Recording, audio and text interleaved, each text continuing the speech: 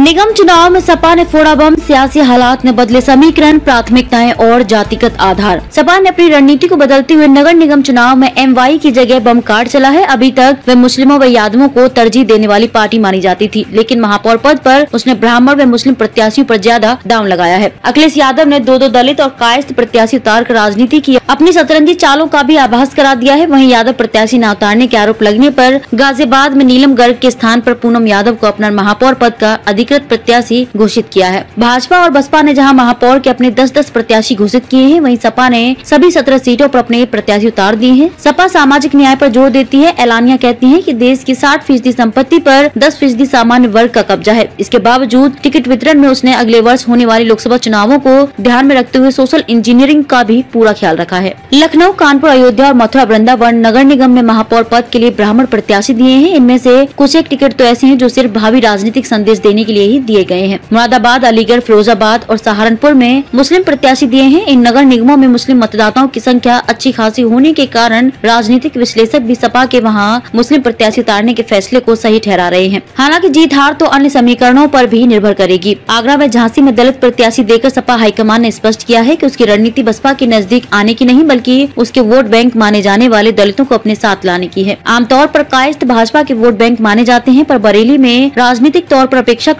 कम पहचाने जाने वाले संजीव सक्सेना को टिकट देकर कायद समाज के बीच भी पैट बनाने का प्रयास किया है। इसके अलावा एक एक गोजर, कुर्मी और छत्री प्रत्याशी उतार कर सामाजिक समीकरण साधने का काम किया गया। सभा की महापौर पद पर कहीं से यादव प्रत्याशी न उतारने पर इसके खिलाफ सोशल मीडिया पर अभियान देखने को मिला। गाजियाबाद में प्रत्याशी का बदलना शायद इसी का नतीजा है। दिल्ली विश्वविद्यालय के शिक्षक डॉक्टर लक्ष्मण यादव कहते हैं की सपा की मेयर पद की सूची देखने ऐसी लगता है की पार्टी की नज़र निकाय चुनाव ऐसी ज़्यादा लोकसभा चुनाव आरोप है। सामाजिक न्याय की धुर समर्थक सपा को सामान्य वर्ग ऐसी भी कोई परहेज नहीं है।